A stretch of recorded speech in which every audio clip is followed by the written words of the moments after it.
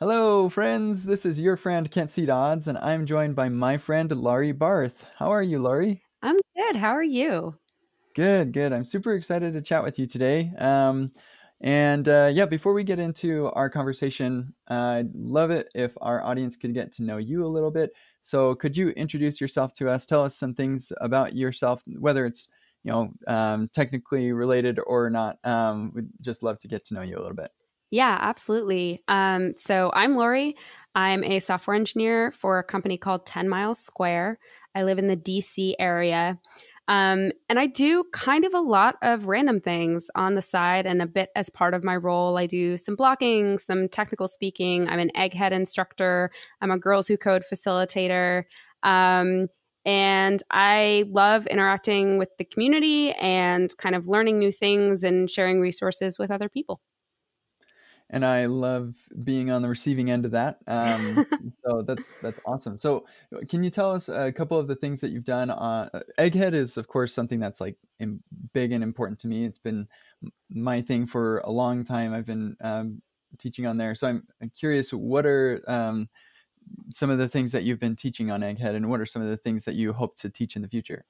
Yeah, so um, I've done a bunch of really short, like I know Egghead is always about being short and concise, but really short uh, JavaScript syntax, um, especially basically everything ES 2015 and beyond, all of these new things that we've added to the language that should really be tools under people's belts to write more readable, um, concise, verbose, like both of those things at the same time. It's crazy. Um, JavaScript. Uh, we, I love JavaScript, but realistically, we kind of get a bad reputation. Um, for many years, it, it, wasn't the most readable language. It was kind of this um, hacky, shoehorned language that would appear in random HTML files. So um, I love the fact that that we're changing that and that it's evolving. Um, and so a lot of my instruction videos are on that. Um, and uh, eventually, I will get around to it, but I really want to do a course on Vue Router. Um, mm-hmm. Routers in frameworks are really amazing and powerful. Um, and I introduced Vue Router to um, someone I was working with like a month ago, and they were amazed by how well it's built um, and how much you can do with it. So I think it's it's one of those things that can be really accessible for people. Um, and I'd love to do an intro to that. So hopefully I'll get to that soon. Cool. Yeah, it's always fun. Uh, the the uh, Christmas time uh, at Egghead mm-hmm. is always very fun and exciting. Lots of new courses coming out, so maybe we can expect to see something from you then. Hopefully, hopefully. Uh, I know that we're all very busy, so uh, take your time. But um, that's excellent. So um, I wanted to talk with you, Laurie, because it seems like you have your hand in a lot of different things. That you're just uh, well, uh, your intro kind of said it all, where you are involved in so many different things and I'm just curious, what is it that motivates you to uh, be so involved like you are? That's funny because that's like a really nice way of saying that I'm random and aimless. Um, but that's not what I mean at all. No, oh, I know it's what I mean. Um, I I'm really bad at saying no, realistically, um, and so I see things that other people are doing, and I'm like, oh, that seems fun. I want to try that. Um, and so I I try my hand in a lot of different things and then I get pulled into them and then forevermore I'm doing those things. Um, I told myself I wasn't gonna, you know, do egghead. I'm like, I'm I'm doing talks and I'm doing blogs. That's enough. Yeah, well, mm, here I am. Um, I told myself I wasn't going to join a new committee, and now I'm doing the TC39 Educators Committee. So, wow, I, that's I, awesome. Yeah, I'm excited about it. I haven't, I don't think I've posted that publicly. I only joined like last week. Um, that's super exciting, though. Yeah, but it's so I just I love doing a variety of things. My company has been really amazing about supporting me and the kind of community efforts I want to be a part of. Um, and I have the flexibility in my life to do that now. So, um, uh, yeah, and, and and the other thing I'll say is, um, I think it's really important that we have a lot of different voices um, within the community, especially on the teaching front, um, but on sharing their knowledge and sharing their resources. Um, you talk about this a lot, but the idea that everyone learns differently and everyone kind of absorbs information differently. And there are resources that I've seen that completely don't click with me. And there's mm. resources mm. that right away feel like they were written by me. Um, mm. And so I just like to add kind of another voice in the crowd, even if I've seen the topic explained a million different times. Maybe the way I explain it will help someone else because it's how I understood it. Mm-hmm. Yeah. So from the sound of it, you it it sounds like you're saying that you're maybe doing too much. Uh, in retrospect, would uh, would you change um, what you've done, and and what could you advise the people who are listening, um, who maybe they aren't involved in a lot, or maybe they're in, involved in a ton, or they have some opportunities? Um, what are some of the things that people should think about when they start getting involved in something new? Yeah, um, do as I say, not as I do, right? Um, so, so too much is really interesting because sometimes that's true and sometimes that's not. As an industry and just the way content creation works, things really ebb and flow. And so there will be mm. weeks where I'm totally slammed and I'm traveling to three different places and I've got two posts that have to go up and a bunch of um, meetings to be in. And then there will be weeks where I look around and I'm twiddling my thumbs and saying, wait, what am I supposed to do with my life now? Mm-hmm. Um, but prioritization is it's important and it looks different for everybody. Uh, it for me, it's a matter of is the thing that I'm working on something that I want to be putting my time towards? Mm-hmm. And admittedly when someone asks me to do something i feel a little bit more peer pressured um, mm. and and i'm not necessarily as as great at intrinsically saying, okay, is this something that I want to do? Um, but at the same time, I'm relatively early on in community involvement and content creation, probably only a, a year, maybe a couple years. So trying my hat at a lot of different things, um, and and we'll see where it shakes out. Um, again, I, I have the flexibility to do it now, so it's a it's a nice opportunity to kind of test the waters and and see where I'm most excited to contribute my time. Mm. And where has that been like so far in, in your experience um, as like like balancing um, your work um, responsibilities as well as um, the the things that you've taken on as as additional responsibilities? Where have you found yourself to be um, the most happy and rewarded um, and like and found yourself to be the most motivated? So it's funny because I always say that when I'm in one realm, I'm the most, you know, satisfied. And then when I'm in the other, I'm like, why aren't I doing this all the time? So I, I blog a lot and I'm involved in Twitter and that community. Um, and I really enjoy being there. I love sharing content. I love when I help people understand something. And then I go to a conference and I'm hanging out with, you know, a bunch of other people in person and uh, a bunch of other speakers and i'm like i want to do this all the time. So it's hard because i i enjoy both aspects of the of the communities and i think they're mm. very different in some ways. Um, so for me it's as, as long as i'm getting that feedback loop and and people are saying hey what you're doing is helping me or that resonated with me or that was helpful in some way i'm happy. If i'm you know talking into the abyss then maybe less so Mm-hmm. Yeah, I, I think um, like you said, you're kind of testing the waters and and finding that um, that thing that makes you uh, the most satisfied. Um, it's a kind of a never-ending search um, uh, for that kind of thing, and and uh, um, but testing out new things is kind of how you how you go about doing that. So, um, what are some of the the types of uh, things that people can do. Like, so I, I think kind of what we want to, uh, you know, circle around here in, in our conversation is to talk about the importance of trying new things and getting outside of your comfort zone. Uh, what are some of the um, the benefits that you've found um, in in your life as far as like uh, trying these new things and getting outside of your comfort zone a little bit? Yeah. Um, perspective. Um you you really understand what it is to start from nothing. Um and and there's there's good and bad aspects to that right? So so if you start doing something completely out of your comfort zone you have a kind of new new respect and perspective on what it's like to start out without that foundation. We get so comfortable so quickly with all of these pieces of knowledge that we take for granted whether that's you know you're a software engineer and you know how to set up your computer and use git okay a lot of people don't know that but it's second nature to you now or you work with cloud services and you understand the definition of what an EC2 is. Okay, a lot of people don't know that. Um, I'm raising my hand. People can't see it. yeah, me. they should have named it VM on AWS. Oh, virtual okay, machine on AWS. Yeah. um, so so it's all of these things. It in my mind, I talk about this a lot with vocabulary and just the fact that you don't understand what people are talking about.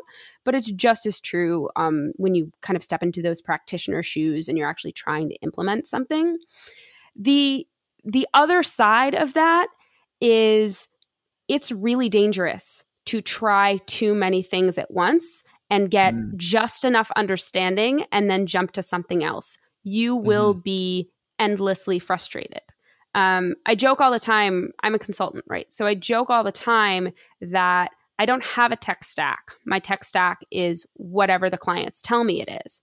Mm-hmm. And there was a period, probably a year ago, where I looked at my boss and I said, I have jumped from hardware to software to cloud to CMS and back again in the course of the past few months. And I need a rock to grab onto right? Mm. I'm I'm in quicksand and it's I feel dumb all the time.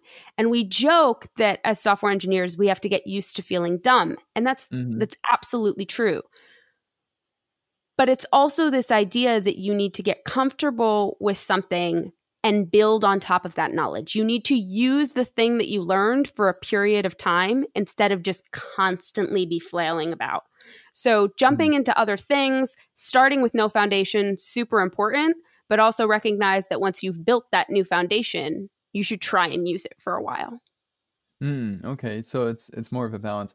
So there are a couple of things that you you um, said there that I kind of want to unpack a little bit. So the um, yeah, so like part of the the benefit of um, jumping into something new is developing this um, uh, at least a reminder for yourself that the things that you're familiar with are easy to you because they're familiar not because they're easy necessarily. And so um, would you say that you're kind of like part of the objective here is that you're intentionally uh, kind of causing yourself some uh, growing pains or some learning pains um, so that you can develop that empathy or is there a little bit more to it I think it's absolutely intentional to to develop that empathy. I also think that you can sit down and try and be conscious of what the building blocks of your expertise are and the the knowledge that you take for granted and you're still going to be at step 1 instead of step 0. You mm. have to go to step 0 somewhere else in order to really appreciate just how low that bar needs to be. Yeah, that makes a lot of sense. I, I wonder if that, um, like, it, it uh, even if I were to go and say, "Hey, I want to try a new programming language," or "I want to try backend," or "I want to try cloud services," or something, um, I, I'm actually still not at step zero for somebody who doesn't know how to program. Um, mm-hmm. And so I wonder if you could get the same kinds of benefits by trying something completely different, uh, like maybe people management or music or yeah. You know, just anything else. Do you have any thoughts around that? No, that's absolutely the case. And I think um, the benefit maybe of doing something else in the programming space is that you're going to realize that you have certain skills that transferred over. And then mm. maybe you'll recognize that those skills exist in a lot of different places and are a barrier to entry. But i think that's absolutely true for for learning anything.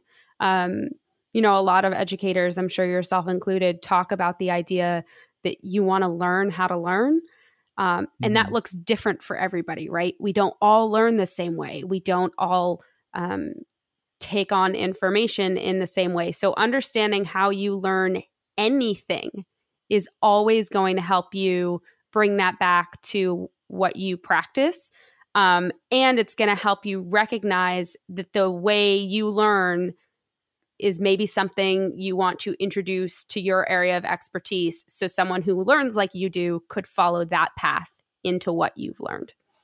I'm using yeah, the word learn a lot. yeah, yeah, yeah. Uh, that's interesting. So, um, like we've talked a little bit of like kind of a meta discussion around learning something new and um, what we've talked about actually kind of seems like um, side benefits or auxiliary benefits to learning something new. There's also like the thing that you're learning could benefit your life as well. Mm-hmm. um, like i don't i don't know how uh, to write a go server uh, and if i go and learn that then yeah i'll learn um, how to learn but also know now how to write a go server which could be useful for me. Um, do you have any thoughts around that and like the the benefits of making yourself I, i'm because i'm like way deep into javascript and um, like I, I do lots of node and lots of react uh, and i don't really branch out very far beyond that. Uh, and so what benefits are there for somebody like me who's so like single minded um, would there be to to branch out and learn new things? So i suspect that your definition of node and react is a lot larger than a lot of people's would be. Um, obviously you run a podcast so there's some kind of automation that you've figured out to get this working and running and deploying to the various podcast services. I'm sure because you run your own um, testing library that you've figured out a whole bunch of stuff about the way open source works uh, mm-hmm. There's there's a number of things around that where you really expanded your reach, and you probably don't think of those things as things to learn. Um, mm-hmm. Anyone who does any, I mean, you have your own website, so you do some kind of CI CD deployment. Like there's all of these different things. And what we forget is even if someone knows React really, really well, if they've been sitting in a larger development team and someone gives them a ticket, they implement it, they push it to git, and that's all they know.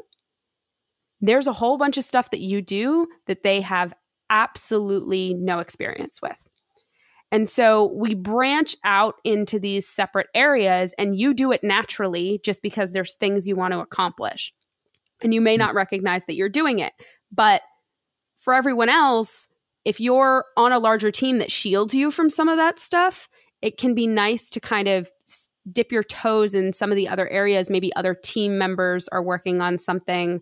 Um, you want a better understanding of the DevOps pipeline. You want to understand the requirements writing process better. All of those things are beneficial, especially because you're eventually going to move to a different team and you have no idea how your role is going to grow. And having some experience with those things instead of just being a cog in a wheel um, kind of I guess lifting your head up and looking around at the bigger picture and what other things are contributing to your success um, is where you're fi- you'll find areas that you probably want to dig a little deeper in.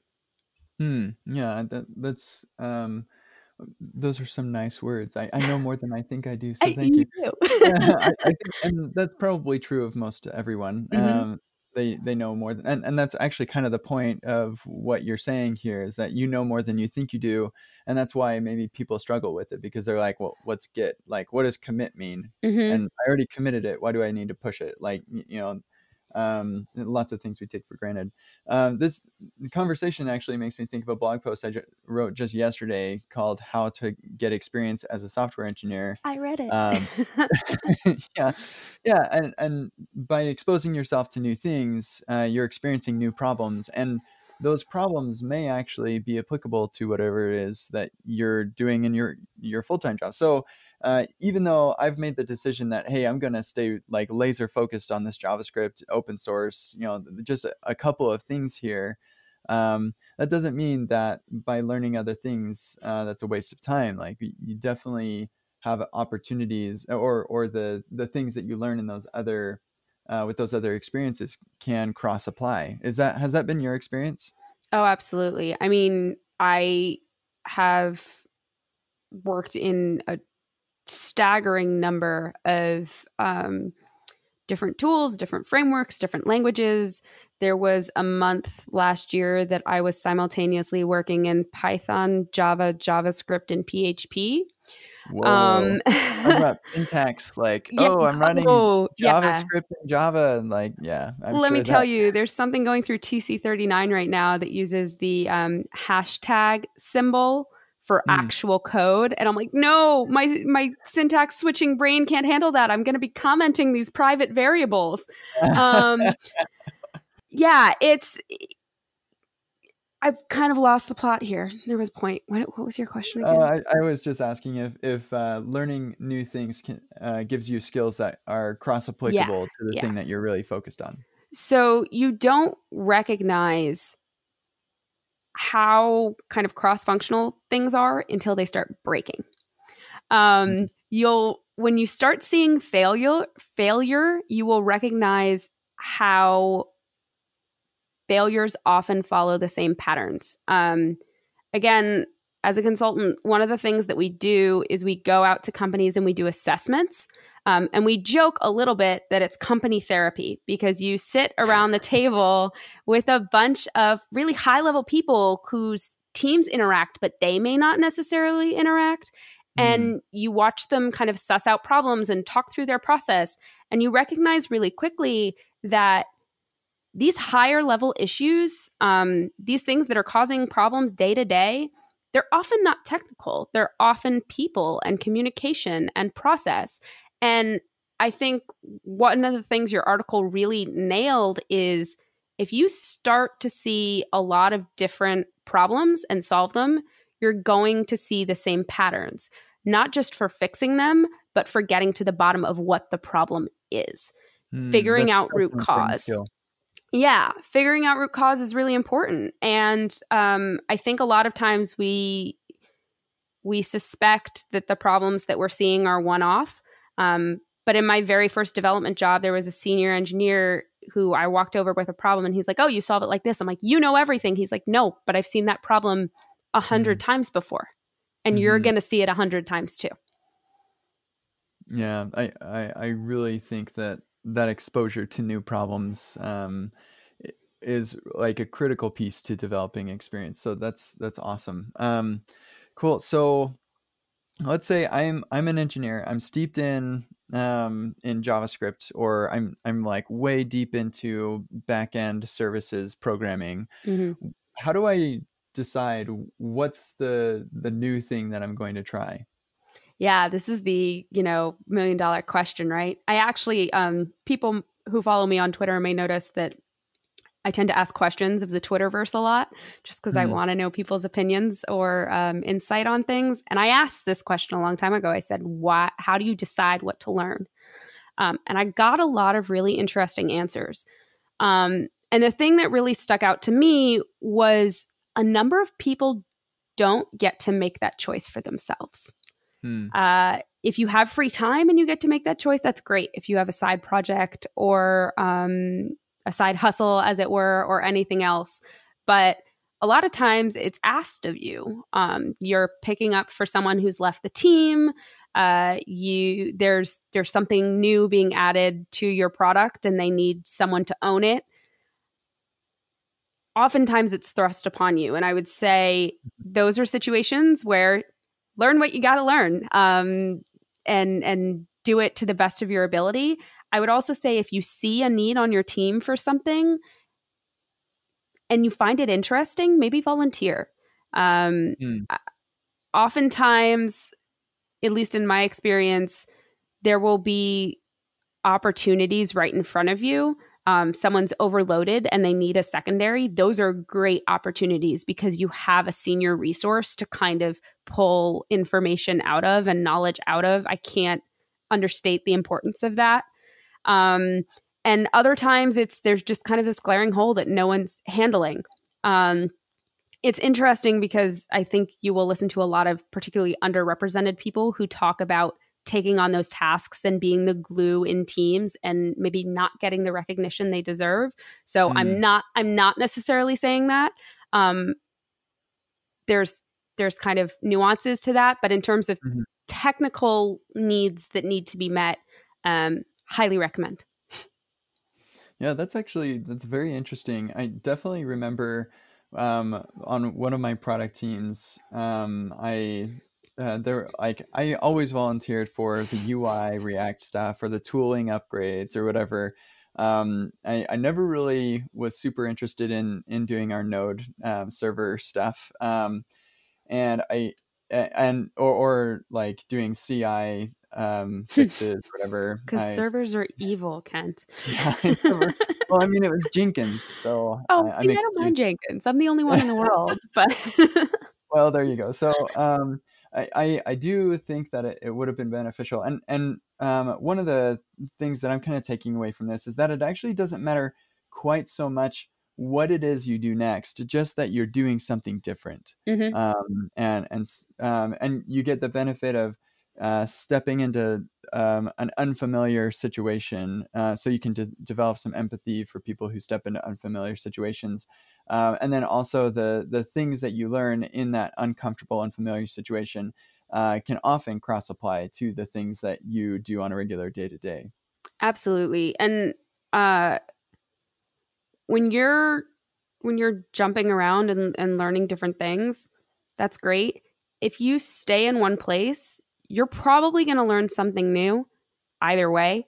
Um, but don't be afraid that you're going to like get super rusty.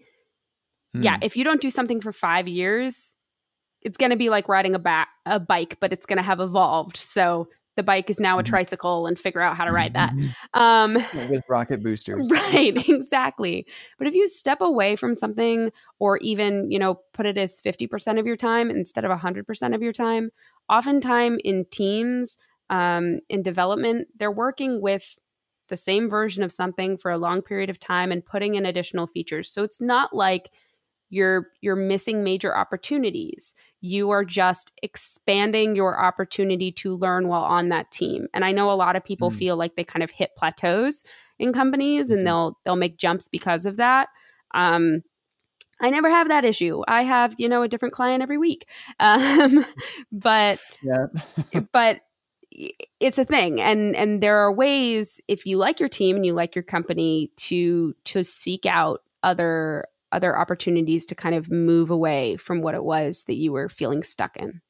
Mm, yeah, and many companies uh, have like unless you're a four person startup or something, uh, you typically in that scenario you're going to be doing a lot of things. Um, but right. uh, in in most companies, um, mature companies, you're going to have a lot of different um, uh, areas where you can uh, contribute and, and kind of change what you're doing. Um, there was one company that I was working at. that was a sort of smaller company and uh, before I jumped in as the UI engineer, uh, they had uh, they they'd lost an um, a UI engineer, and so they had one of their backend engineers doing some UI work. And um, I hope he doesn't listen to this, but he'll agree with me anyway. that uh, he he had a really terrible attitude um, about that experience. And um, I mean, I'm not saying that you have to enjoy uh, these new things. Like we we kind of naturally gravitate to certain things sometimes, and that's fine. Um, but you're going to have a much better experience in learning these new things if you have a positive attitude about that. And I tell my kids that all the time. Um, that uh, you're just like you can um, you're gonna go through the experience one way or the other. Um, now that you've committed to it, I guess. Um, and so you may as well have a positive attitude about that um, so that you can get the most out of it. Um, so that was just one other thing that I, I thought of. Is there anything else as we kind of wrap things up that you'd like to uh, talk about, Laurie?